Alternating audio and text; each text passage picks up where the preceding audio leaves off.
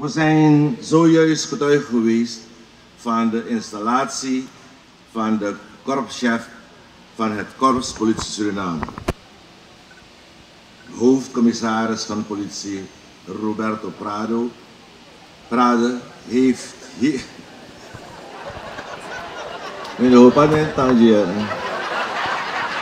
heeft hierbij het roer formeel overgenomen van hoofdcommissaris Agnes Daniel.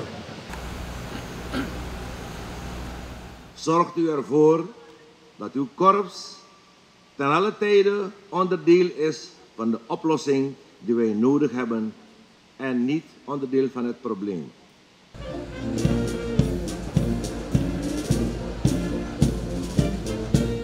Wat betekent het in feite om korpschef te zijn? Een korpschef die niet alleen zorgt voor te dragen dat het korps zich verder ontwikkelt en de criminaliteit te lijf gaat. De korpschef is ook niet alleen het gezicht van het korps naar buiten toe. Nee, de korpschef zal ook zijn mensen, zijn team dienen te motiveren. En het is niet zomaar, het is niet zomaar een baan, het is een manier van leven. Een belangrijke structuur die ik even wil belichten is sowieso criminaliteitsbeheersing. En ik zeg bewust beheersing en geen bestrijding. Mensen willen juist bestrijding horen. Maar in principe is er geen noemenswaardig verschil. Bij beheersing willen we er juist met onze neus erop zitten. Zwaar gaan trekken aan de intelligence.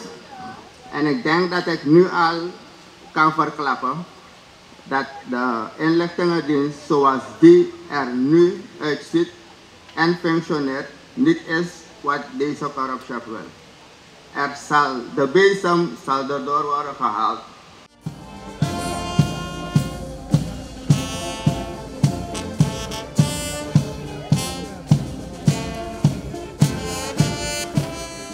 En als de tekenen niet bedriegen, hebben we binnen korte tijd hebben we onze eerste forensische computer, waarmee wij de criminaliteit flinke slagen gaan toebrengen. Dat is eigenlijk de bedoeling.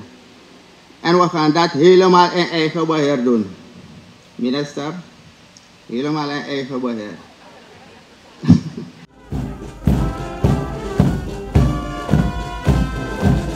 Bij de aanvaarding van de functie heb ik aangegeven dat ik de organisatie als een bedrijf wil leiden. En daar sta ik nog steeds achter en we plukken nu al de vruchten. En ik denk, ik weet niet of de minister van Defensie hier is. Het leger is zelfvoorzienend. Ook wij willen dus zelfvoorzienend zijn. We gaan de regering helpen zelf zoveel als mogelijk middelen binnen te krijgen. Zodat de regering eigenlijk weinig kopzorgen heeft voor wat betreft Korpspolitie Suriname om middelen vrij te maken om de zaak draaiende te houden. Niet voor niets hebben wij HRM en bedrijfsvoering als top 2 prioriteiten voor nu. Dat zal ook bij zich meebrengen dat voor wat betreft de bemensing er ook wat drastische besluiten zullen worden genomen. Impopulaire maatregelen. Maar ik zeg één ding, ik ga voor het groter belang. En ik zeg altijd, als je je persoonlijk belang kan positioneren binnen het groter belang, dan ben je top. Kan je dat niet, dan heb je een groot probleem. Zeker met mij. Want ik zeg voor mezelf ook wel, ik kijk naar het groter belang. Dus ik verwacht dat u dat ook doet. Als u dat niet doet, dan hebt u een probleem met deze corruptie.